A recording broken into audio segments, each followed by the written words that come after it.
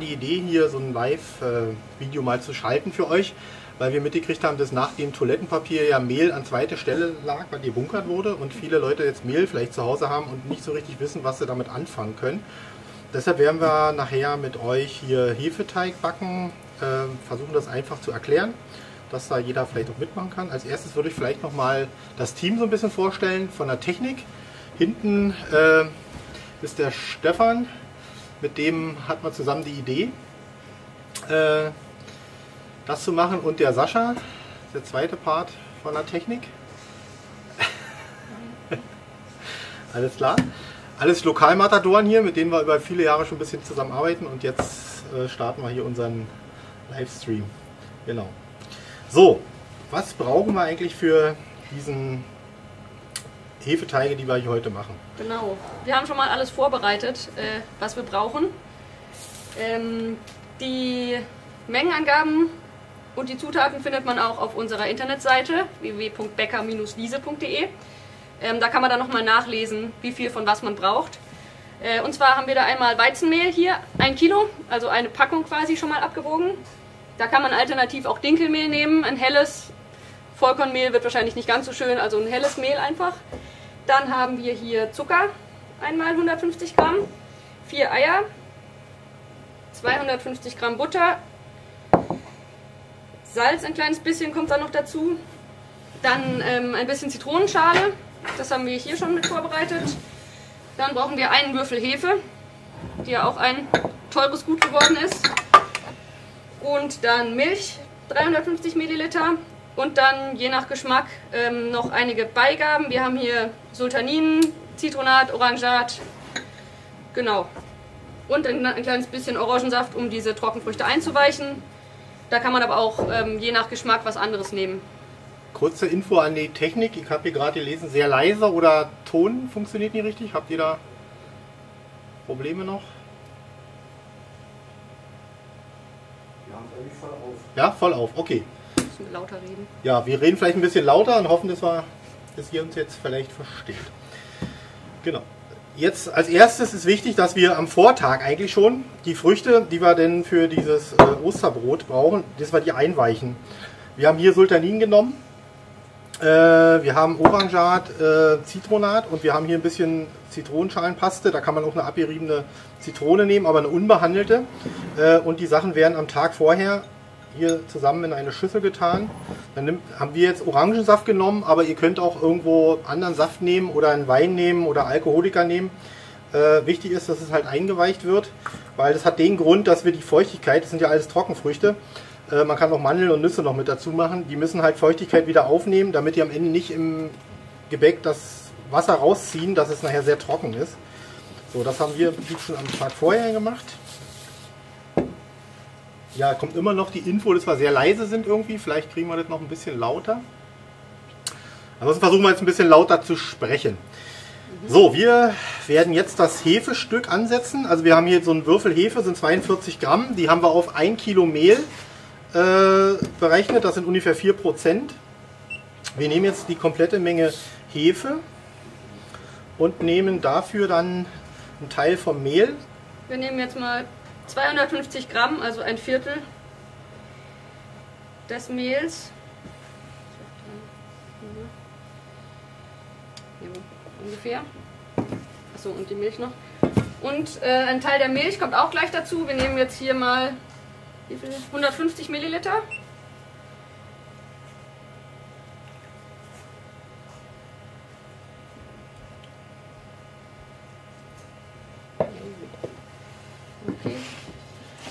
Wird jetzt alles miteinander. Kleiner Tipp noch, die Milch sollte vielleicht zumindest Raumtemperatur haben, ansonsten kann die leicht warm sein. Nicht zu heiß, aber so 35 Grad wären eigentlich so ideal. Das wird jetzt alles miteinander vermischt. Und das ist eines der wichtigsten Sachen, wenn man Hefeteig herstellt, dass man vorher einen Teil des Mehles mit, dem, mit der Hefe vermengt, dass die Hefe anfängt einfach schon mal zu starten. Weil wir haben doch relativ schwere Zutaten da drin. Äh, wir haben nachher noch äh, Sultanin und Mandeln und sowas da drin. Und dadurch muss die Hefe doch ziemlich stark arbeiten. Und deshalb muss sie am Anfang so ein bisschen erstmal sich vermehren. glaube, wir haben immer noch ein bisschen Probleme mit dem Ton leider. Äh, vielleicht kriegen wir das nochmal hin. Wir arbeiten da dran am Ton. Das ist alles halt live, das erste Mal. Wir hatten noch keine Generalprobe heute geschafft, weil wir den Laden offen hatten, gerade bis 18 Uhr. Und äh, ja, so dieser, dieses Hefestück hier, das müsste einfach nur gut verkneten, dass das Mehl sozusagen nicht mehr zu sehen ist. Okay, sieht gut aus, laut genug sehe ich gerade beim nächsten. Vielleicht liegt es auch an den Bildschirmeinstellungen oder am Fernseher bei den Leuten ein bisschen. Ähm, ja, ihr könnt euch, ich, ich gucke hier nebenbei immer auf den Bildschirm, ihr könnt uns gerne auch zwischendurch Fragen stellen. Ich versuche die immer zu beantworten. Ansonsten haben wir auch eine E-Mail-Adresse, an die man mal eine Mail schicken kann und dann werde ich im Nachgang versuchen, die Fragen auch zu beantworten. Wenn er mir eine Telefonnummer da reinschreibt, dann äh, bin ich auch gerne bereit, da anzurufen, weil manchmal macht sich das auch besser, mal kurz zu telefonieren. Wie gesagt, das ist das Hefestück hier. So, und das muss jetzt so ungefähr eine Stunde ruhen. Wir haben das natürlich hier alles schon mal so ein bisschen vorbereitet. Und Jule, hol mal, hol mal das Hefestück, was wir im Prinzip schon vor einer Stunde gemacht haben. Dann seht ihr mal den Unterschied. Also hier seht ihr diese Volumen. Das ist ja eigentlich schon fast verdreifacht inzwischen. Ähm, so muss es nach einer Stunde ungefähr aussehen. Ja, jetzt äh, lassen wir den eine Stunde ruhen. Äh, wir arbeiten aber gleich weiter, weil wir ja hier auch ein bisschen äh, die Zeit äh, nicht zu lang werden lassen. Jetzt nehmen wir dieses Hefestück und dann kommen ein Teil der anderen Zutaten dazu. Genau.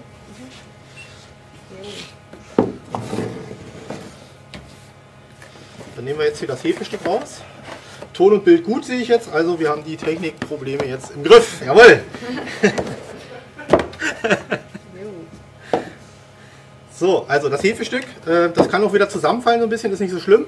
Also da haben sich jetzt diese Hefepilze, die haben sich jetzt hier schön vermehrt, die feiern jetzt drin wahrscheinlich eine schöne Party, die sind halt richtig im Gange. Was wir jetzt dazu machen, ist der Rest vom Mehl. Kommt jetzt dazu. Was jetzt dann noch dazu kommt, ist der Zucker. Da tun wir außerdem noch ein bisschen Vanillezucker dazu, beziehungsweise man kann entweder eben hier so ein Tütchen nehmen oder wir haben hier so ein äh, Extrakt, den man dazugeben kann. Ist letztlich egal, ist einfach Genau. nur für den Geschmack.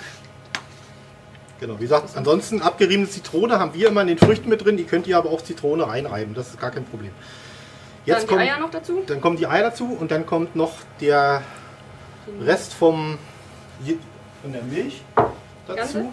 Äh, das sind jetzt, äh, was hat man da? 200, 200, nee, 150 sind schon raus. 200, ne? Oder wie steht's? Es müssen noch 200. 200 dazu. Genau, 200 Milliliter 200 Milch. Milliliter Milch noch dazu. Genau. Genau.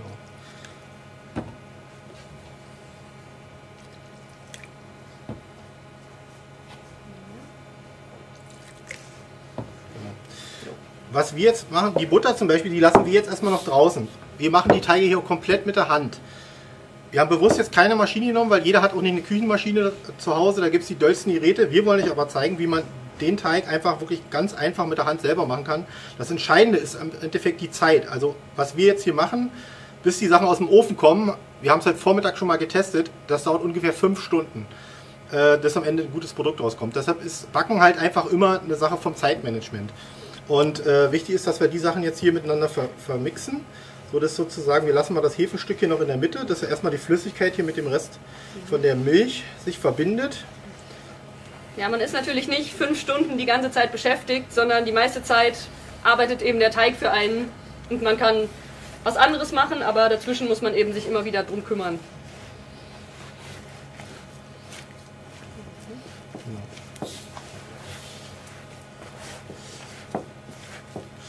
Genau. Ich, ich versuche das immer mit einer Hand zu machen, dann hat man die zweite Hand einfach frei.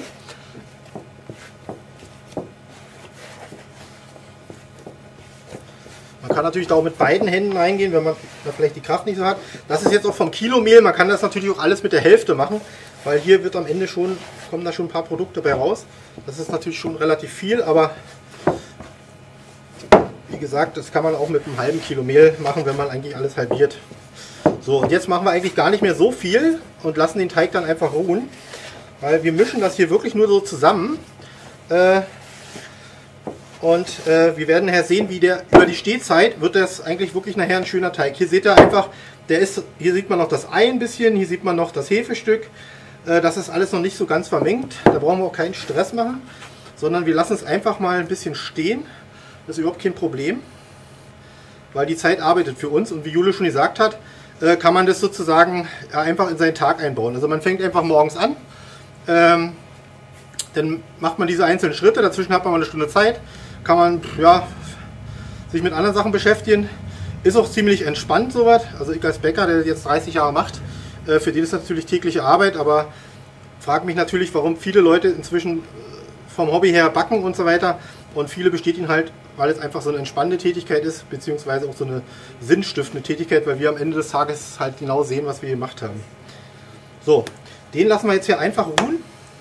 Äh, ich würde sagen, dass man den jetzt so ungefähr 15 Minuten stehen lässt und dann kommt die Butter dazu. Das würden wir jetzt nochmal beschleunigen, weil wir das vorhin schon mal gemacht haben. Also wie gesagt, keine Angst, dass der hier noch nicht glatt ist. Bisschen abdecken halt, damit er nicht austrocknet. Genau, das ist wichtig. Ähm, dass man einfach, einfach am besten ein Handtuch oder irgendwas nimmt und den äh, einfach abdeckt.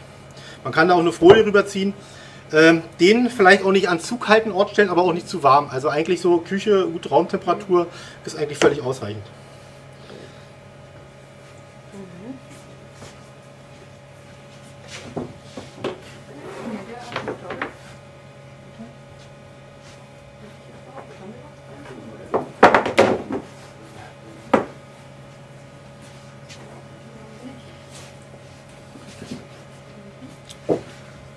So, wenn der jetzt so eine Viertelstunde gestanden hat, dann können wir hier die Butter reinmachen.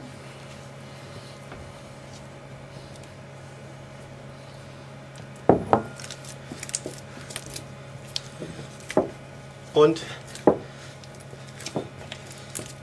die Butter hat halt die Eigenschaft, dass das einmal äh, den Teig geschmeidiger macht, aber halt auch ein bisschen gärhemd wird. Also die Hefe sozusagen die äh, arbeitet ein bisschen schlechter, wenn, wenn mehr Butter im Teig ist. Deshalb ist es eigentlich sinnvoller, die Butter einfach ein bisschen später dazu zu geben, dass die Hefe eine Chance hat, äh, vorher zu arbeiten. So.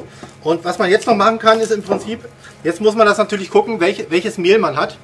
Ähm, wir haben jetzt hier einen Weizenmehltüte 55 aus unserer Bäckerei. Man kann Dinkelmehl nehmen, 36. Und jedes Mehl verhält sich immer ein bisschen anders. Und daher muss man diese Festigkeit äh, immer ein bisschen einstellen, sagen wir. Also man kann hier zum Beispiel sagen, okay, der ist mir noch ein bisschen weich, mache ich noch ein bisschen, äh, bisschen Mehl dazu. Und äh, das muss man halt so ein bisschen im Gefühl haben. Und deshalb ist es wichtig, wenn man die Teige einfach zwischendurch mal stehen lässt eine Weile, dann ziehen die auch wieder die Feuchtigkeit an, die Quellen. Und äh, dem Moment ist ja auch nicht mehr so klebrig, weil die meisten haben jetzt Angst und sagen, ah, der klebt hier und da, das wird gar nichts. Äh, einfach, kleiner Tipp, einfach manchmal ein bisschen stehen lassen, äh, und dann entwickelt sich der Teig. Und ähm, was auch wirklich gut dabei ist, wenn diese Teige äh, einfach eine Weile stehen, dass die wirklich am Ende eine gute Struktur bekommen und vor allem, äh, dass wir mit relativ wenig Hefe arbeiten. Also wir haben jetzt mit 42 Gramm aufs Kilo Mehl gearbeitet. Äh, wenn man oft äh, so Haushalts Empfehlungen liest, dann sieht man, dass 500 Gramm Mehl oft für 42 Gramm Hefe reichen. Und wir haben jetzt hier schon die Hälfte genommen. Was man auch machen kann, werden wir nachher vielleicht nochmal erklären, dass man diesen Teig einfach am Tag vorher macht, am Abend, und stellt ihn über Nacht in die Kühlung, nimmt ihn morgens raus, verknetet den nochmal und arbeitet weiter. Dann bitte nochmal die Hefe um die Hälfte reduzieren. So, jetzt lassen wir den wieder stehen und holen mal die nächste Stufe.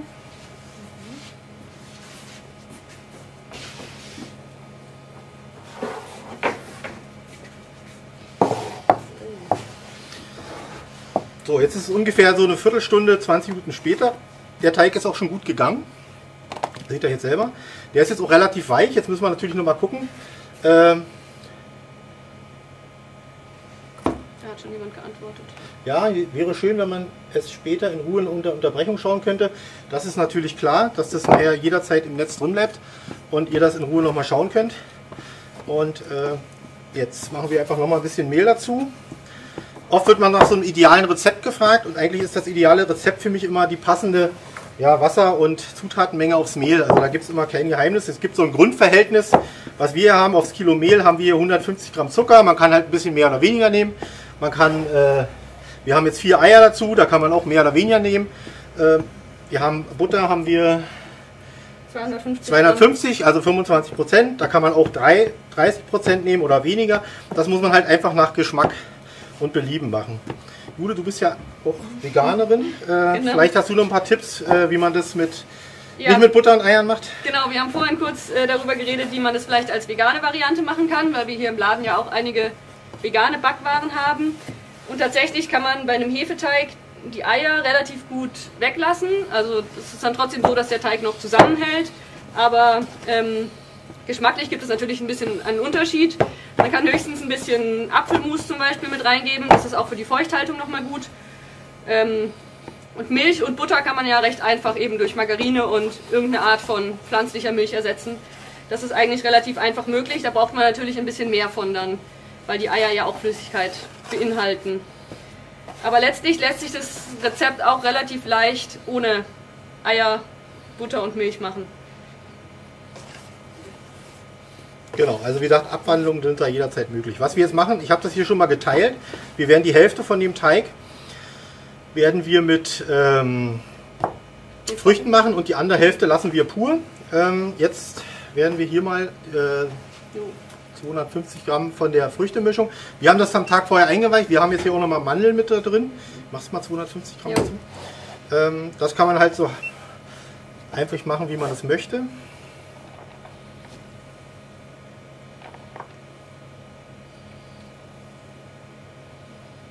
Ja, wenn ihr Fragen habt, schreibt die einfach gerne hier in den Chat. Ich gucke da mal rauf, dann können wir das auch schon beantworten. Wie gesagt, was wir euch absolut nehmen wollen, ist so die Angst vor diesen Hefeteigen. Also das habe ich heute auch im Laden gehabt mit so ein paar Kunden. Wie gesagt, bei mir wird das immer nichts. Ähm, deshalb sind die entscheidenden Sachen, die wir am Anfang gemacht haben, hier einfach mit diesem Hefestück, dass das eine Stunde vorher gehen muss, halt mit einem Teil vom Mehl und nicht mit allem. Und ähm, dann haben wir schon einen guten Start. Und wenn wir jetzt sozusagen uns einfach Zeit lassen und das gut vermischen, also klar kneten wir hier auch mit der Hand relativ intensiv, aber man braucht hier nicht immer unbedingt eine Maschine, ähm, sondern das kann man wirklich gut mit der Hand machen. Genau. Hier wird der Teig wieder ein bisschen feuchter durch die Früchte, weil ja doch ein bisschen Flüssigkeit noch da ist. Und ähm, deshalb lassen wir den Teig dann am Ende auch wieder noch ein bisschen stehen, dass der entsprechend nochmal so ein bisschen die Feuchtigkeit aufnehmen kann. Oder man macht halt noch mal ein bisschen Mehl dazu. Das muss man so ein bisschen im Gefühl haben. Jetzt mal so ein Tuch nochmal holen. Kurz. So, ein bisschen aufräumen. Genau, den Teig legen wir uns mal hier oben hin. Ja.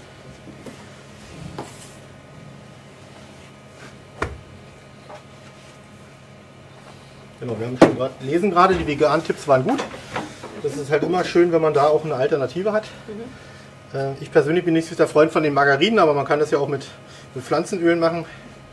Bei, bei Margarinen sind oft halt gerade, wenn man die konventionell und nicht die Bio kauft, dann sind da halt sehr viele Zusatzstoffe drin, äh, Emulgatoren und so, die den da vielleicht aus meiner Sicht nicht so reingehören.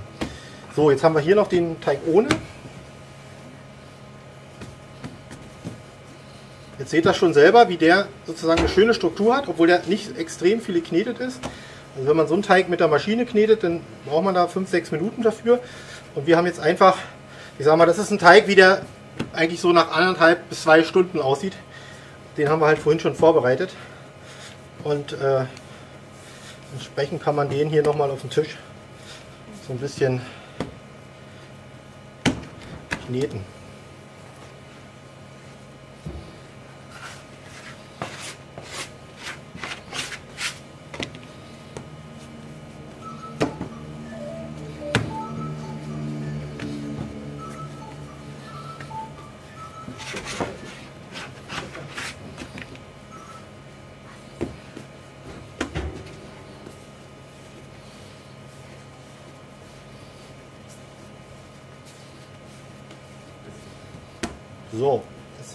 Schon relativ gut. Jetzt geben wir dem auch nochmal eine kleine Pause.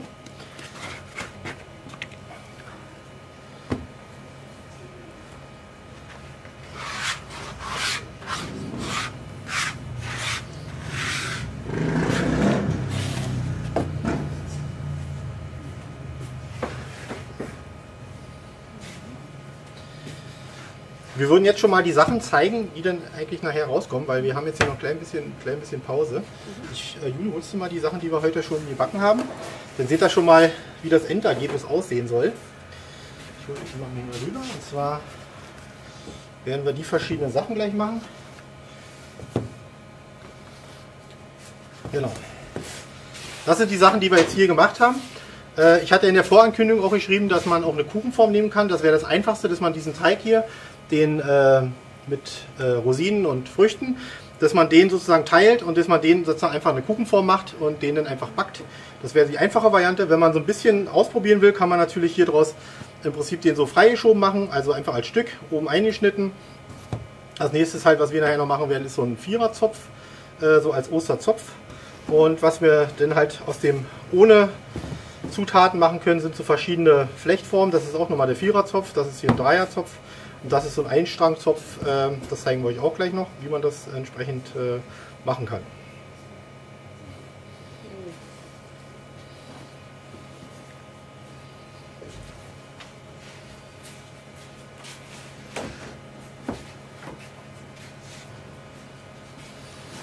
Kannst du mal den Hefestück holen nochmal? So, jetzt zeigen wir euch mal das Hefestück. Das haben wir jetzt so vor 20 Minuten gemacht. Ist jetzt auch schon gut gegangen. Hier seht ihr schon, dass das entsprechend so die Hälfte fast rum hat von der Stehzeit. Volumen ist schon so um ja, 40 Prozent, denke ich mal, gestiegen. Und äh, das, wie gesagt, eins der wichtigen Sachen und das muss man halt zwischendurch auch immer abdecken. Das ist unwahrscheinlich wichtig, dass das jetzt nicht verhautet, weil wenn das oben so eine Haut kriegt, ist das wirklich nicht gut.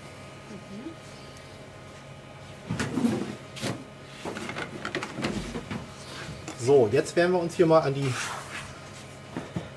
den Teig weitermachen. Wir teilen uns mal diesen, diesen Teig. Also es ist wirklich relativ viel. Ich glaube, wir haben, können es mal auflegen. Wir haben jetzt hier ja, 1250 Gramm Teig ungefähr. Wenn wir den teilen, dann haben wir hier so gut 600 Gramm.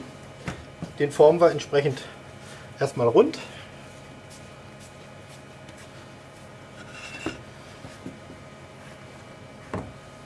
Hier kommt eine Frage rein, soll das so dunkel sein und warum? Ähm, die Sachen, die wir jetzt gebacken haben, also ich persönlich fand die jetzt nicht sehr dunkel, die sind halt gebacken und nicht gekocht, sage ich immer. Ähm, wir haben hier einen Steinbackofen bei uns im Laden, der backt schon relativ kräftig. Äh, und die Farbe kommt halt auch davon, zeigen wir euch nachher noch, dass man das vorher mit Ei und Milch abstreicht.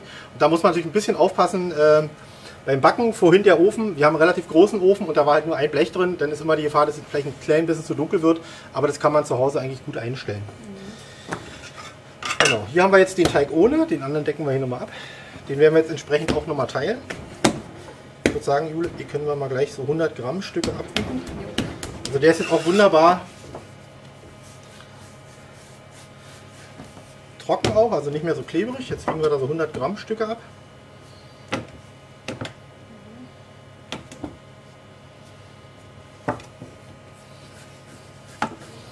Machen wir entsprechend rund.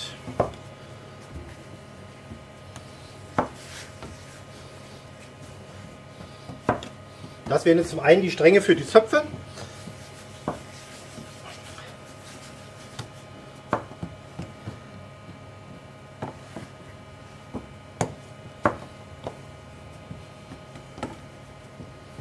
Also gibt es verschiedene Methoden. Also ich habe es jetzt einfach mal so gemacht.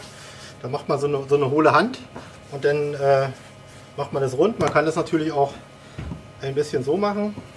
Da geht es halt muss man sich halt ausprobieren, was einem besser. Oder Jule macht es so mit der Hand, also kann man auch machen. Entscheidend ist, dass die halt rund werden und dass die oben die Oberfläche nicht reißt. Also da steht öfter schon mal die Gefahr, wenn man das zu doll macht. Die kann es ja mal machen. Wenn ich jetzt hier einfach zu doll dran rumwerkel, dann, dann reißt hier oben die Oberfläche ein bisschen ein. Das sollte dann denke ich nicht so sein. Genau. Die lassen wir jetzt auch einen Moment entspannen. Dann kümmern wir uns jetzt nochmal um die hier. Wichtig ist halt zwischendurch immer ruhig mit dem Tuch abdecken, äh, damit die einfach keine Haut kriegen. Das ist so wichtig. Kommt immer darauf an, ob es, äh, ja, wie hoch die Luftfeuchtigkeit ist. Also für uns ein Problem. Sommer, Winter, also im Winter haben wir eher das Problem, dass es eher ein bisschen trockener ist, die Luft. Und im Sommer, so im Juni, haben wir oft die Probleme, dass es sehr feucht ist. Dann haben wir auch Kundenbeschwerden, wenn so Brötchen sehr pappig sind, aber das ist halt oft ein Problem bei uns von Luftfeuchtigkeit. So, und jetzt äh, machen wir hier im Prinzip so Stränge draus vier Stück, weil wir jetzt einen Viererzopf machen.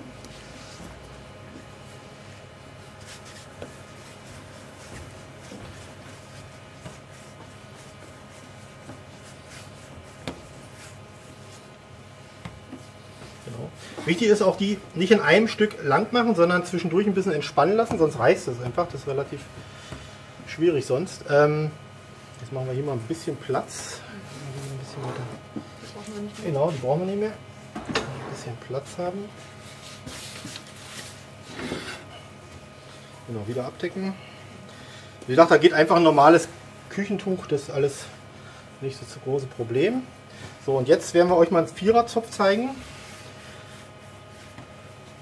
Dann macht man halt im Prinzip hier solche Längen, dann legen wir die so über Kreuz.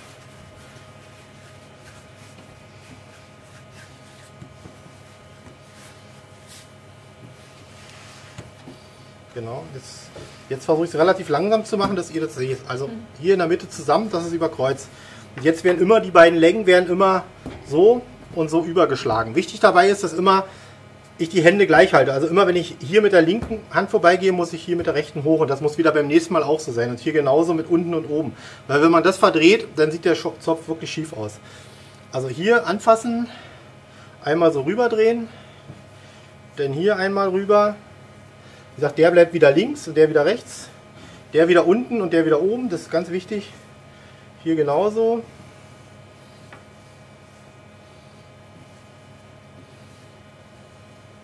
Das Ende, da muss man ein bisschen aufpassen, dass man das hier gut beieinander bekommt. Genau. Dann haben wir das schon mal fertig. Ja, es gibt da sehr gute YouTube-Videos zu, zu Genau, diesen Flechttechniken, äh, wo die sehr schön erklären, wie genau und nochmal ganz langsam. Also wenn das zu schnell ging, man kann da gut nochmal nachgucken, nochmal üben, nochmal probieren, wenn es nicht so schön wird erstmal. Den zweiten mit den Früchten, den werden wir einfach nur als, als, als Brot machen. Den formen wir hier einfach nur ein bisschen lang. Wichtig ist, dass der nur so eine Oberflächenspannung kriegt, deshalb schlagen wir den Teig hier ein bisschen ein, sozusagen. Dass der, wichtig ist, dass der hier, hier so eine Spannung hat und so aussieht und nicht so irgendwie so da liegt. Das ist einfach nochmal wichtig.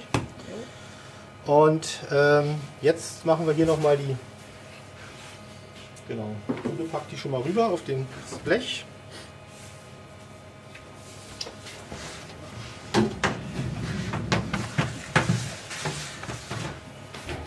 Genau. Jetzt haben wir diese anderen Teigstücke, die schlagen wir auch noch mal ein bisschen ein. Der Teig ist doch noch ein bisschen weich hier. Ähm, jetzt machen wir erstmal Nochmal, also da muss man hier ungefähr so eine Länge haben. Wichtig ist auch die Enden gleichzeitig dick, also nicht spitz am Ende wie eben, sondern gerade.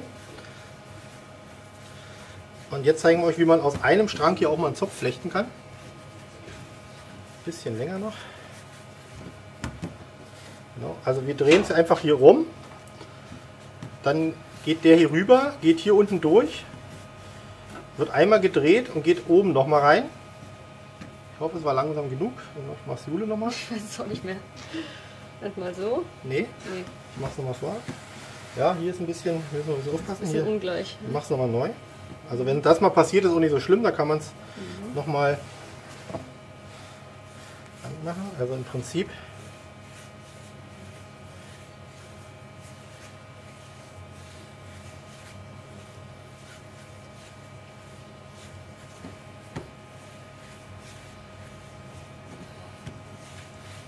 die Länge. So, und jetzt nochmal hier ranlegen. Also ungefähr sozusagen auf der, hier, hier im oberen, also ungefähr Ersten drei geteilt, Drittel. genau, ungefähr im ersten Drittel, hier eben einmal oben hoch, dann hier einmal unten durch, dann legt man dreht, dann dreht man es hier unten um, dass der von oben nochmal reinkommt.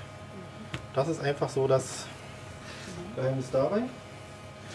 Äh, was wir auch mal machen können, das haben wir jetzt zwar heute früh nicht gemacht, aber wir können mal so einen einfachen Knoten machen. Habt ihr den schon mal gemacht? Ja. Genau, dann machen wir jetzt einfach mal einen Knoten. Da brauchen wir ungefähr, also nicht ganz so lang wie den.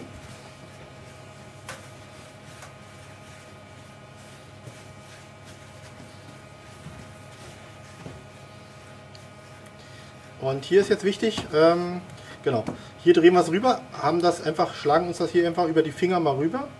Und hier ist wichtig, dass wir den oberen von unten, also von oben rein, den anderen ziehen wir eigentlich unten drüber und kneifen es hier unten zusammen und drehen es wieder um. Und das ist ja im Prinzip so ein, so ein Knoten.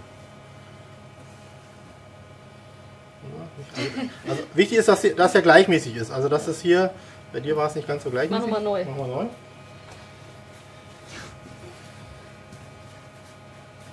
Hier machen wir auf jeden Fall noch einen Dreierzopf draus. Das ist also einfachere. Seine Vierer haben wir gezeigt, dann machen wir ruhig den mal die Knoten weiter. Oder wir machen noch einen Dreier, oder? Genau, ich komme gerade rein. Also Vi- Video wird gespeichert, kein Problem. Äh, komm nicht hinterher, Teig muss das gehen. Also das ist einfach nochmal ein Tipp an euch. Wir sind jetzt hier einfach relativ schnell. Wir wollten hier kein 4-Stunden-Video drehen. Deshalb haben wir die Sache beschleunigt. Also diese Ruhephasen zwischendurch, die haben wir hier wirklich vorweggenommen. Also weil wir einfach vorbereitet waren. Ihr könnt diese Teige zwischendurch wirklich liegen lassen. Ihr merkt, der, wird, der klebt noch, lasst ihn einfach liegen. Gebt ihr nochmal Mehl dazu, macht da Pausen zwischen von einer halben Stunde oder Viertelstunde, knetet den weiter. Also keinen Stress wollen wir euch verbreiten. Guckt euch das Video hinterher auch nochmal in Ruhe an. Also wenn ihr das jetzt mit angefangen habt, bis er die Sachen nachher aus dem Ofen holt, das wird schon relativ spät. Das wird bestimmt 23, 24 Uhr heute. Oder ihr macht es halt wirklich an Ostern. Der Karfreitag ist zu, da habt ihr auch Zeit. Äh, oder am Samstag, also ist ja kein Problem. Genau. Wichtig ist immer, dass die, dass die hier relativ gleichmäßig gerollt werden. Das ist auch so ein Tipp, also nicht unbedingt so rollen, weil dann hat man die Abdrücke von den Fingern, sondern man rollt immer so ein bisschen quer, dass man sozusagen mit den Fingern hier so rüber geht, dass man hier das relativ gleichmäßig hat. Und dann ruhig ein, ein bisschen, ganz bisschen Mehl nehmen, ganz bisschen nur, ähm, weil sonst klebt's. Und achso, jetzt haben So, wir, jetzt jetzt, jetzt machen wir den Knoten nochmal oder den Einstrang. Wir machen nochmal den Einstrang, weil die hier ein bisschen länger sind und dann machen wir nachher nochmal die Knoten. Also der Einstrang nochmal, das war hier, jetzt geht ungefähr gedrittelt, geht hier rüber, geht hier durch, wird nochmal gedreht und kommt von oben, von oben rein. War schon wieder zu schnell. Das war der Anfang, war schon gut, jetzt gehst du hier unten durch, drehst du einmal, Und dann das Entscheidende ist hier diese Drehen und Richt- dass man es in die Genau, richtige Richtung genau. dreht. Genau. Sonst wird es nicht. Jo, So, jetzt machen wir nochmal die Knoten. die Knoten. Bei den Knoten halt nicht ganz so lang wie eben.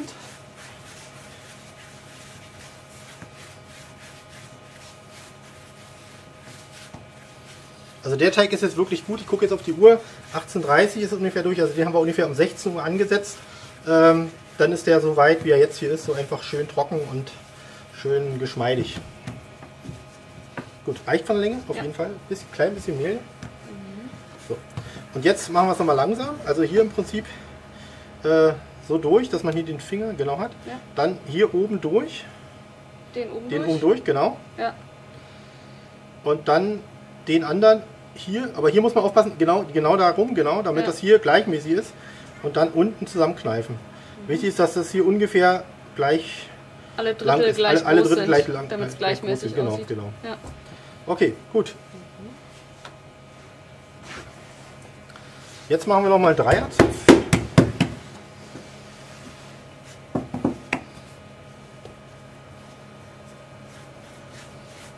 Ich falte das so ein bisschen zusammen, dass der einfach Spannung bekommt, damit er nicht so rutscht, auch vor allem.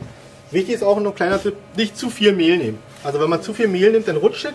Wenn man zu wenig Mehl nimmt, dann klebt es. Wenn er zu doll klebt, ist er einfach, muss man den Teig einfach noch ein bisschen stehen lassen.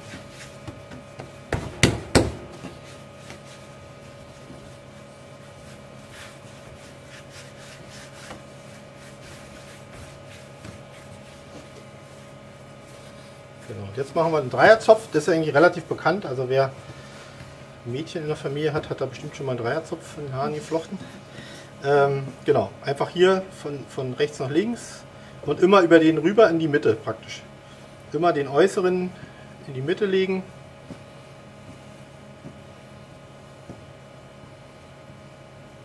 Das ist hier das ganze Geheimnis. So, dann zeigen wir euch das Blech nochmal komplett. So sieht es im Prinzip aus. Wie gesagt, das ist jetzt aus einem Kilo Mehl entstanden. Das ist schon relativ viel. Wenn ihr die Hälfte nehmt, habt ihr entsprechend äh, die Hälfte, obwohl man das schon weggebacken bekommt. Äh, wenn ihr den Ofen nicht frei habt, beziehungsweise sagt, Mensch, ich schaffe das gar nicht alles reinzukriegen, könnt ihr auch die Sachen jetzt einfach in den Kühlschrank packen zwischendurch oder einfach in einen kühleren Raum. Da kann man diese Gare ein bisschen verzögern. Deshalb ist es wichtig, um mit weniger Hefe zu arbeiten, nicht mit den großen Hefemengen, weil dann explodieren die Teige am Ende. Und so haben wir im Prinzip langsame Gare. Wie haben Sie denn nochmal vorbereitet? Jule, holst du immer das Blech aus dem, aus dem Garraum? Also die gehen bei uns jetzt eigentlich so in die warme Gare. Ein kleiner Tipp zu Hause, man kann es auf dem Kuchenblech machen. Schaltet beim Backofen nur das Licht an. Dann hat man so ungefähr 30 Grad im Backofen drin. Genau, wie Haare flechten kam gerade. Genauso richtig. Ähm, und äh, bei 30 Grad 35 Grad ist so eine ideale Temperatur. Also Backofen nur Licht anschalten, Tür zu, dann ist es sozusagen auch abgeschlossen, dann gibt verhautet der Teig auch nicht. Äh, dann funktioniert super. So, und hier sehen wir jetzt mal, wie sich das Volumen nochmal vergrößert hat. Also dasselbe Gewicht, den wir eben hatten. Ähm, genau. Und, und jetzt werden wir die backen. Und zwar brauchen wir einmal noch ein Messer. Das. Also jetzt streichen wir die ab. Also hier haben wir jetzt vorbereitet eine Eistreiche. Das ist einfach Eigelb mit Milch, ungefähr 1 zu 1. Äh, gibt so eine schöne Streiche, dass es einen Glanz gibt und eine Farbe. Aufpassen, wenn man zu viel, also pure Eigelb nimmt, dann wird es relativ schnell dunkel, dann wird es halt fast schwarz. Und äh, jetzt streicht man den ab. Wichtig ist, dass man es schön abstreicht, dass es nicht runterläuft aufs, aufs Papier. Ja, die haben jetzt schon wirklich viel Gare. Also hier sieht man, dass die leicht zusammenfallen schon. Die sind jetzt schon ein bisschen sehr reift, weil den haben wir schon vorbereitet. Also mehr auf keinen Fall. Also hier seht ihr schon, dass es hier ein bisschen zusammenfällt. Das ist eigentlich schon fast zu viel. Ähm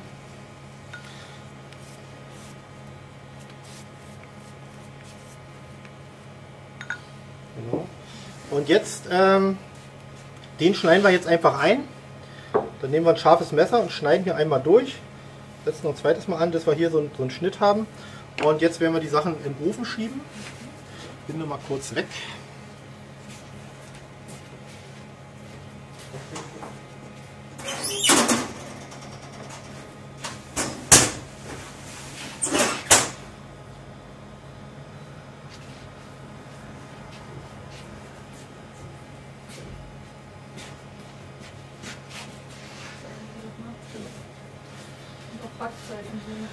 Genau, wir äh, holen jetzt mal die Sachen. Jetzt sagen wir noch was zur Backzeit.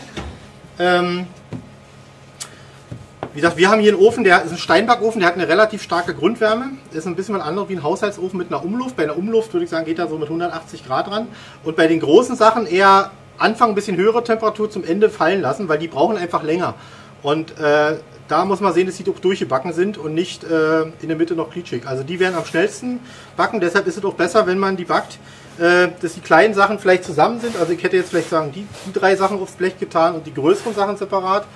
Ähm, das ist unwahrscheinlich wichtig und wenn man, wenn die Sachen halt zu schnell bräunen und man hat die Teigtemperatur, also die Backtemp Backzeit noch nicht erreicht, äh, mit der Temperatur einfach fallen. Und was wir halt machen, holen wir ein Thermometer her. Äh, vielleicht ein kleiner Tipp, wer so ein Fleischthermometer oder so von euch hat, im Prinzip äh, einfach so ein Thermometer nehmen und die Kerntemperatur bei den Sachen messen. Und wenn es so 92 Grad erreicht hat, dann ist es durchgebacken. Also da ruhig gucken, ob die Kerntemperatur erreichbar ist. Also das macht sie irgendwie mit so einem Fleischthermometer oder so einem einfachen Digitalthermometer. Gibt es bestimmt irgendwie mal günstig im Angebot. Eigentlich wirklich gut. Ähm, holst du mal noch ein Messer, Jule? Dann können wir die nochmal anschneiden, die Sachen. Genau. Wie gesagt, das eine von kam ja so ein bisschen hier mal die, die Nachfrage, warum es so dunkel ist. Also das ist natürlich, wahrscheinlich war da hinten auf dem Blech auch am Ofen, da hat man einen relativen Hitzestau. Äh, da ist es ein bisschen dunkel. Die, die Sache ist hier doch wirklich perfekt. Und ähm, ja, jetzt, jetzt schneiden wir einfach mal an und schauen mal, wie die innen aussehen. Also hier können wir ja mal die mal längs schneiden, dann sehen wir mal, wie die, wie die innen sind. Also hier seht ihr, die sind schön von der Porung her. Die hätten natürlich, ja, könnten noch ein bisschen, teilweise ein bisschen größer von der Porung sein, aber sieht schon wirklich mal gut aus. Kann natürlich sein, wenn man die wirklich mit der Maschine knetet, dann sind die natürlich noch mal ein bisschen, äh, gehen die vielleicht noch mal ein bisschen mehr auf, aber sollte durchaus funktionieren. Dann haben wir hier noch mal das Früchtebrot.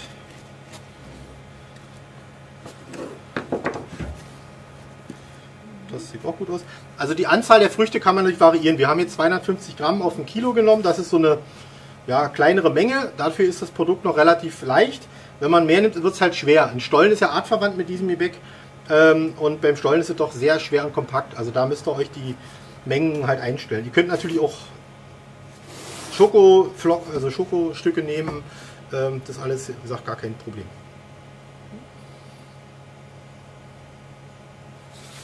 Ja, sind noch Fragen von euch vielleicht jetzt zum Abschluss noch? Ja, ich hoffe, dass wir euch ein bisschen weiterhelfen konnten und vielleicht so ein bisschen die Angst vor dem Hefeteig genommen haben. Ich, werde vielleicht nochmal die wichtigsten Sachen nochmal zum Schluss zusammenfassen. Ähm, wichtig ist dieses Hefestück. Holt es nochmal her. Ähm, jetzt seht ihr schon, dass das Volumen sich verdoppelt hat. Wir sind jetzt ungefähr so 45 Minuten, 40 Minuten, äh, nachdem wir es angesetzt haben. hat sich das Volumen jetzt wirklich mehr als verdoppelt. Also jetzt können wir schon fast den, den Teig machen. Das ist ein wichtiger Punkt, denn halt. Achso, Frage. Ähm, wie lang und wie heiß oben und unten im Steinbackofen? Äh, da würde ich eher sagen, äh, da ist die Temperatur ein bisschen höher im Steinbackofen als im Umluftofen, weil die Umluft doch anders verteilt. Also wir backen hier bei 180 Grad Obertemperatur und Oberhitze und 170 Grad Unterhitze. Müsst ihr einfach wirklich äh, ausprobieren. Und wie lange? Achso, wie lange? Äh, die backen, die kleinen würde ich sagen, backen so um die 15 bis 20 Minuten und die großen haben ungefähr so um die, um die 30 Minuten waren die ungefähr drin. Aber das müsst ihr halt wirklich selber ein bisschen aus, ausprobieren. Äh, Nochmal kurz zurück zu den wichtigen Sachen. Also diese, dieser Hefevorteig, dann die Zutaten mischen, die Butter vielleicht erstmal weglassen, weil die sehr schwer ist. Äh, kneten, Zeit lassen, einfach zwischendurch Viertelstunde warten, eine halbe Stunde warten, dann wieder mal kneten. Äh, so nach zwei Stunden ungefähr, drei Stunden ist der Teig eigentlich wirklich glatt und geschmeidig. Dann könnt ihr die Sache wiederum unterbrechen, indem man sagt, okay, pack's in den Kühlschrank, ich warte noch ein bisschen oder macht es über Nacht, reitet es abends vor, nehmt vielleicht die Hälfte der Hefe nur, äh, packt die nachts in den Kühlschrank und dann äh, nehme ich morgens raus und mache mir morgens dann meinen Zopf. Von dem Grundrezept jetzt ohne die Früchte kann man halt auch genauso einen Streuselkuchen machen, einen Bienenstich machen. Ähm, das ist eigentlich so vom Hause aus ja so, so ein normales, einfaches Grundrezept. Wenn er euch zu, zu, zu, zu trocken ist, dann macht er einfach ein bisschen mehr Butter dazu. Äh, wenn er euch zu schwer ist, einfach ein bisschen weniger Butter. Die Süße stellt er einfach ein mit dem Zucker. Das sind einfach so die einfachen Tipps äh, dazu. Ja, wir werden jetzt soweit durch. Ja, danken vor allem unserem Team nochmal für, die, für den Support hier. Ja, hoffen, dass ihr euch jetzt über Ostern da ein bisschen beim Backen beschäftigen könnt und dass wir uns ein bisschen alle von dem ganzen Thema zurzeit mit Corona äh, ein bisschen ablenken. War jetzt für uns auch ein bisschen eine Ablenkung für die Woche, weil wir haben auch hier stressige Tage hinter uns und äh, ja, morgen haben wir nochmal viel zu tun. Morgen ist nochmal Gründonnerstag, da geben wir für euch auch nochmal alles. Äh, wie gesagt, schaut einfach ähm, noch die Sachen euch nochmal an bei YouTube. Schickt mir eine E-Mail, E-Mail-Adresse, vielleicht könnt ihr die nochmal einblenden. Ähm, äh, dass er da mir nochmal eine E-Mail schreibt. Äh, ansonsten auch gerne ja, auf unserer Webseite nochmal schauen, bei YouTube. Wer selber doch keine Lust hat zum Backen, ihr könnt natürlich bei uns im Laden noch vorbeikommen, könnt inzwischen auch online bei uns shoppen. Also wir haben so ein paar Sachen im Online-Shop, Brot und Brötchen, könnt ihr auch gerne vorbestellen für den Laden. Wir versenden auch, also das sind unsere neuesten Projekte jetzt bei in Bezug auf, auf Corona, ähm, dass wir da ein bisschen was gemacht haben. Ja, wir wünschen euch ein wunderschönes Osterfest, viel Spaß beim Backen und ja, wir sehen vielleicht uns im Laden und der eine oder andere Kunde hat, glaube ich, hier auch zugeschaut. Äh, gerne auch mich persönlich nochmal ansprechen für Tipps, wer halt da keine Lust hat, eine E-Mail zu schreiben. Also, frohe Ostern! Viel Spaß. Tschüss. Tschüss.